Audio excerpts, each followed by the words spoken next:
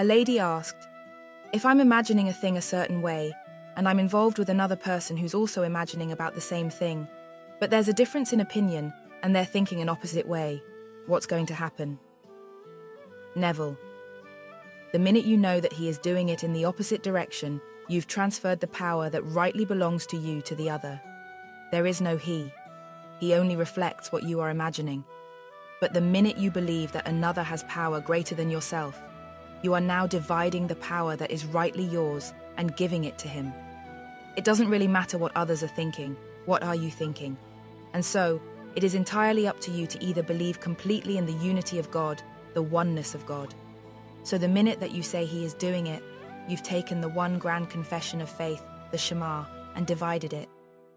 When asked to name the greatest of all commandments, he named the Shema, Hear, O Israel, the Lord our God is one.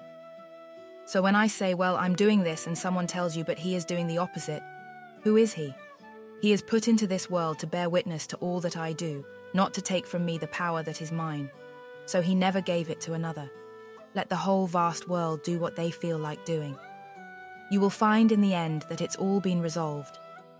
I have heard women say to me, You know, I want that man and only that man, and I don't want any other man, and don't give me any criticism about it. I want him. I said, But he's married. It doesn't matter. I want him. The only man. But I've gone to their weddings, and it was not that man. What they really wanted was to be happily married, and they tied it to a man. What they wanted was the state of blissful marriage. Tell me what you want and don't give me all the problems about what's going to stop it.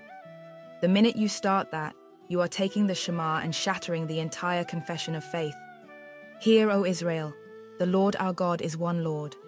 And I can't even say we are in that confession. I have to say I am. And when I go to the people and I say that the Lord has sent me, and I say he is the God of our fathers, the God of Abraham, and the God of Jacob, and the God of Isaac, what shall I say? Just say, I am has sent me unto you. So the minute I go out and I say, You are, that is something that is a shadow, and he is, that's even further away.